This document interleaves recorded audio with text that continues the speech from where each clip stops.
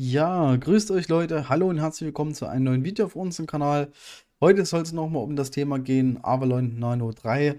Geplant war eigentlich, dass wir mit euch zusammen ein Setup-Video machen, das heißt, wir euch zeigen, wie man das Ganze einrichtet. Ich habe allerdings mal bei YouTube geschaut und es ist wirklich so, es gibt viele, viele Videos, wo Schritt für Schritt erklärt wird, wie das Ganze zum Einrichten funktioniert. Das heißt, ich denke, es ist nicht notwendig, dass wir nochmal dementsprechend ein Video nachschieben. Ähm, das ist eigentlich relativ einfach. In der Beschreibung ist ein QR-Code drin für eine App. Ihr ladet euch die App runter, gebt euren Avalon 3 quasi äh, äh, eine WLAN-Verbindung und dann könnt ihr alles einstellen. Das war es mehr oder minder. Wie gesagt, konkretere Anleitung bzw. Schritt für Schritt, wie es funktioniert, findet ihr in einem Video bzw. in den fast jedem Video, was hier drin ist, über den Avalon Nano 3. Ja, was ist jetzt nochmal der Avalon Nano 3? Und zwar ist es ein kleiner Bitcoin-Miner, sage ich jetzt mal. Ein Bitcoin-Solo-Miner würde ich mal eher dazu sagen, weil mit 4 Terahash Leistung, was das Gerät bringt, ist es natürlich nicht unbedingt fürs Pool-Mining geeignet. Und das sind auch nur, wenn man es mal grob rechnet, 5 bis 8 Cent am Tag. Wenn ihr da noch die Stromrechnung mit abzieht, dann macht ihr da definitiv Nase. Das muss man auf jeden Fall sagen. Das Prinzip ist ähnlich wie zum Beispiel ein Bitex oder BitX Ultra vom Prinzip her, nur halt eben, dass der Nano 3 mit 4 Terahash Leistung kommt. Hier auf der offiziellen Seite findet ihr nochmal die ganzen Informationen. Ihr seht hier 4 Terahash bei 140 Watt Leistung maximal. Das Ganze kann man in drei Stufen einstellen. Das bedeutet, es gibt die 65 Watt Stufe, die 100 Watt Stufe und 140 Watt Stufe. Hier findet ihr nochmal ein paar Informationen dazu. Hier nochmal dieser kleine Fun Fact. Ähm, der Avalon Nano 3 wird ja mehr oder weniger als äh, Heizgerät verkauft. Das bedeutet, der ist auch so konzipiert als Lüfter. Da kommt warme Luft tatsächlicherweise raus. Ja, das heißt, es wird hier definitiv mit Abwärme äh, gearbeitet. Ihr seht es hier, ähm, 40 bis 60 Grad heiße Luft oder warme Luft kommt aus dem Gerät raus. Reicht auch, um kleinere Räume zu heizen. Ja, ist halt eben auch ein bisschen so abhängig vom Strom her, beziehungsweise ihr seht hier nochmal 140 Watt ist natürlich schon ein bisschen was. Ja, und ähm, müsst auch eure Stromrechnung mit im Auge behalten, was das Thema angeht. Hier steht es auch nochmal quasi 65 Watt kleinste Stufe, mittlere Stufe 100 Watt und dann gibt es noch die 140 Watt Stufe. Das heißt, ihr habt die Möglichkeit, ähm, also erstmal entweder mit drei Netzteilmodellen zu bestellen oder halt eben auf drei Stufen das Ganze einzustellen. Könnt ihr auch ganz bequem in der App machen. Ja, das Teil gibt es in äh, fünf unterschiedlichen Farben.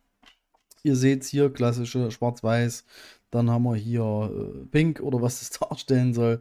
Midnight Blue, also ein Blau. Und halt eben ein knalliges Gelb. Wir haben den, ihr habt ja bestimmt schon Vorschaubild gesehen, beziehungsweise ein oder andere Kurzvideo von uns haben wir gezeigt, welchen wir hier im Einsatz haben. Ja, ähm, kaufen kann man das Ganze hier auf dieser Seite meinshop.eu. Das ist äh, ein Trust Shop, das bedeutet, also ein Trusted Shop. Das heißt, ähm, hier kann man mit ruhigem Gewissen bestellen, sage ich jetzt mal. Das heißt, wer hier bei diesem Shop bestellt, bekommt auch seine Ware. Ihr seht hier im Preis 134,87 exklusiv Wett. Das heißt, hier kommen noch Steuern mit dazu. Und dann habt ihr das, was ihr für das Gerät bezahlt. Hier habt ihr noch die Möglichkeit, extra einen Power Supply zu bestellen. Also Netzteil, 140 Watt äh, USB-C Netzteil. Hier bitte ganz, ganz vorsichtig sein mit irgendwelchen chinesischen 140 Watt Netzteilen. Die fliegen euch um die Ohren, weil der meiner wirklich 140 Watt maximal zieht. Ähm, es gibt zum Beispiel äh, von, von Apple gibt's äh, Mac USB-C Netzteil mit 140 Watt. Die würde ich empfehlen. Kosten zwar 105 Euro oder so in der Drehe, aber da seid ihr sicher. Ja, wie gesagt, ich denke mal, dass die Netzteile, die hier mit dabei sind, aus dem Shop auch letztendlich safe sind. Allerdings würde ich abraten, irgendwelchen China-Kram zu benutzen. Ja, hier sehen wir quasi die Mindbound Coins vom Avalon Nano 3 und das ist auch mehr oder minder darum, wo es heute bei uns geht in diesem Video. Ähm, es geht ja immer normalerweise darum klassisches Bitcoin Mining bzw. Bitcoin Solo Mining. Wir wollen aber heute mal ähm, Bitcoin ähm, Cash mal ein bisschen genauer betrachten, weil letztendlich es gibt Unterschiede, A, zum, die, was an Rewards bekommt und B, die Wahrscheinlichkeit, die es im Block bekommt, ist enorm unterschiedlich zwischen den beiden. Das heißt, ähm, ihr habt bei Bitcoin Cash natürlich eine weitaus höhere Chance, den Block zu gewinnen, wie beim normalen Bitcoin Solo Mining. Und was genau das ist, das gucken wir uns natürlich auch jetzt an. Genau, ihr habt dazu die Möglichkeit, zum Beispiel auf der Seite solochance.org äh, zu vergleichen, sage ich jetzt mal. Das heißt, wenn ihr zum Beispiel Bitcoin Mining betreibt, ihr gebt hier dementsprechend ein eure Terahash oder Kilohash, je nachdem, was ihr habt. Und Hashrate, ich gehe jetzt mal vom meinen ein, also ich bin mit 65 Watt unterwegs, das heißt, ich habe um die 2 Terahash und der Dreher, gebe ich hier meine Hashrate ein, 2 Terahash. Und da seht ihr, da seht ihr hier quasi, wie hoch eure Chance ist, am Tag einen Block zu gewinnen. Und es steht hier momentan bei 1 zu 2 Millionen also ja, ein bisschen, also bisschen mehr als 2 Millionen, also 1 zu 2 Millionen ist eure Chance, dass ihr einen Block bekommt im Solo-Mining. Und das ist natürlich schon, naja, sehr, sehr hoch. Ich sag's mal ganz einfach so. Selbst wenn euer Miner ein ganzes Jahr läuft, dann ist die Chance immer noch 1 zu 5652. Das bedeutet, es ist extrem, extrem gering, dass ihr so einen Block letztendlich im Bitcoin Mining bekommt. Aber ich habe ja gesagt, Bitcoin Cash ist die Alternative. Hier haben wir auch 2 Terahash. Wir berechnen das Ganze mal neu. Und da sieht es natürlich wieder ganz anders aus. Weil hier ist es aktuell so, das heißt, die Chance am Tag steht 1 zu 14.132. Ich weiß, ist immer noch extrem hoch. Allerdings ist es halt eben im Gegensatz zum Bitcoin Mining bzw. Bitcoin Solo weitaus weniger. Das heißt, hier sind die Chancen weit, weitaus besser, mal einen Block zu erwischen ähm, im Gegensatz zum klassischen Bitcoin Solo Mining. Und die Chancen aufs Jahr steht 1 zu 39. Sieht natürlich auch nicht schlecht aus, sage ich jetzt mal. Deswegen haben wir uns entschieden, letztendlich das Ganze bzw. unseren Avalon 903 auf Bitcoin Cash laufen zu lassen und mal gucken, ob was passiert, ob man einen Block bekommt, ob man einen Block bekommt. Aber die Wahrscheinlichkeit ist halt eben extrem höher. Ja, wir gucken einfach mal rein. Ich habe habe den Avalon vorhin auf äh, Bitcoin Cash umgestellt. Das ist quasi die Oberfläche. Wenn ihr das eingerichtet habt, wird euch auf dem Gerät eine IP-Adresse angezeigt. Die IP-Adresse gebt im Browser in eure Adresszeile oben rein. Da kommt quasi ein Anmeldefenster, das zeige ich euch nochmal. Ich melde mich einfach mal ab. Das Ganze sieht so aus. Ihr gebt dann halt eben ein Root und Root. Das könnt ihr natürlich auch im Nachgang noch ändern. Dann geht auf Login und dann seht ihr quasi eure Leistung. Da seht ihr hier den Mining-Status, Netzwerkstatus, eure Hashrate. Ihr seht halt eben hier eure Rejected Percentage, das heißt, wenn äh, Shares abgewiesen werden sozusagen, das kann zum Beispiel eine fehlerhafte Verbindung sein oder halt eben auch ein Fehler auf den ASIC. Hier seht ihr nochmal den Pool, mit dem wir verbunden sind. Das heißt, wir sind quasi mit dem Solo-Pool aktuell verbunden, hatte ich ja gesagt. Hier ist unsere ähm, Bitcoin Cash Wallet sozusagen plus Avalon 3, das ist quasi unser Worker, den wir eingestellt haben. Das Ganze stellt ihr in der Konfiguration ein, das heißt, ihr könnt eure Pools einstellen, so wie ihr das letztendlich aus anderen ähm, Minern kennt, von der Konfiguration her, sage ich jetzt mal. Und wie gesagt, wir lassen das letztendlich laufen, beziehungsweise ich lasse das laufen.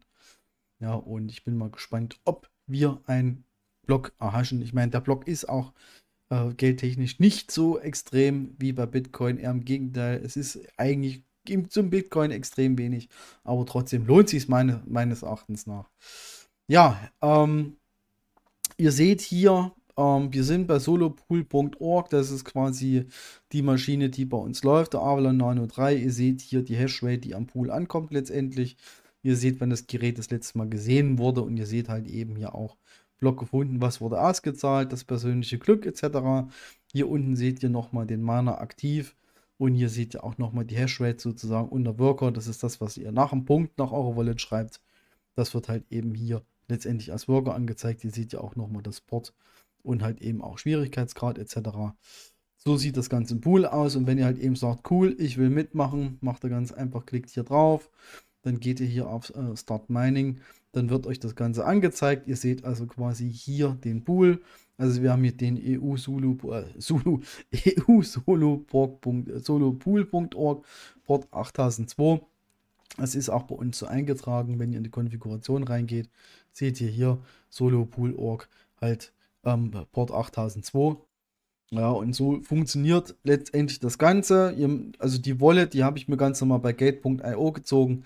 Das bedeutet, ihr braucht nicht unbedingt ähm, direkt äh, von äh, Ethereum, äh, Ethereum soll schon von Bitcoin Cash eine Wallet. Das heißt, ihr könnt auch ganz normal eine Wallet nehmen, die ihr euch ähm, an einer Exchange erstellen könnt. Funktioniert wunderbar.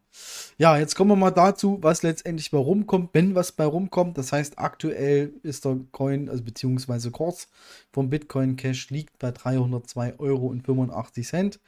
Und es ist genau ähm, wie im Bitcoin-Bereich, das heißt ein Block. Wenn ihr einen Block meinen solltet, bekommt ihr 3,125 Bitcoin Cash. Das sind aktuell 946 Euro. Ich meine, das ist nicht wie bei Bitcoin, wo ihr dann 180.000 bekommt.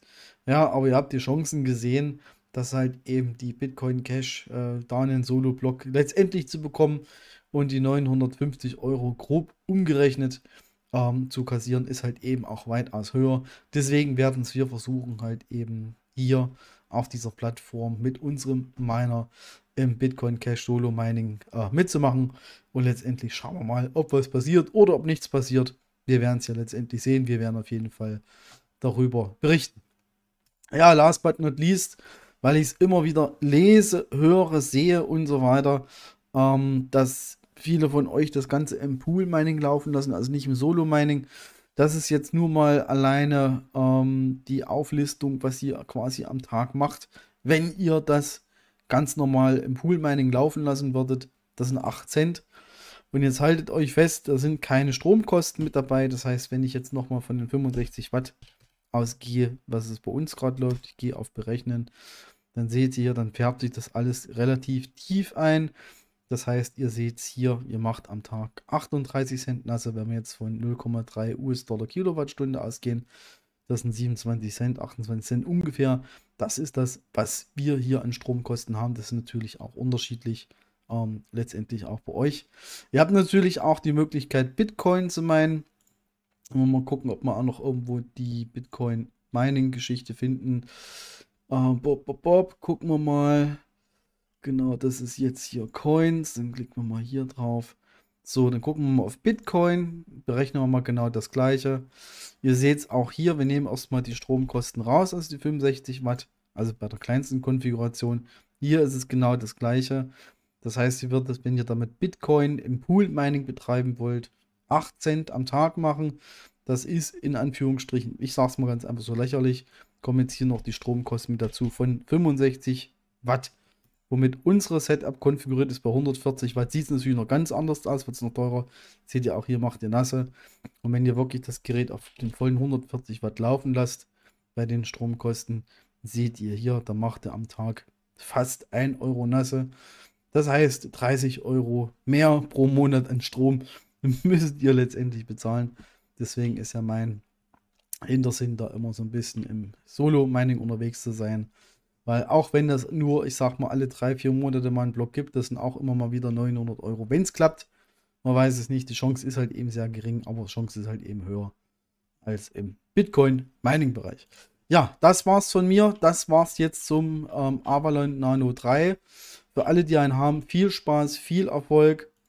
Und ich hoffe, dass ihr den ein oder anderen Solo-Block erwischt. Ansonsten nochmal zum Nachlesen. Ähm, was die, was die Wahrscheinlichkeiten angeht, ist solochance.org. Hier könnt ihr selber noch mal gucken, der Unterschied zwischen Bitcoin und Bitcoin Cash. Ja, guckt es euch an, vielleicht ist es was für euch, vielleicht macht ihr mit, vielleicht auch nicht. Ansonsten der Pool, wo wir halt eben sind, ist solopool.org. Hier läuft jetzt quasi unser Mana drüber und wir sind auf jeden Fall mal gespannt, ob was passiert, ob wir einen Block bekommen oder auch nicht. Das war's von mir. Ich bedanke mich bei euch fürs Zuschauen, wünsche euch was. Bis die Tage. Bis später. Ciao.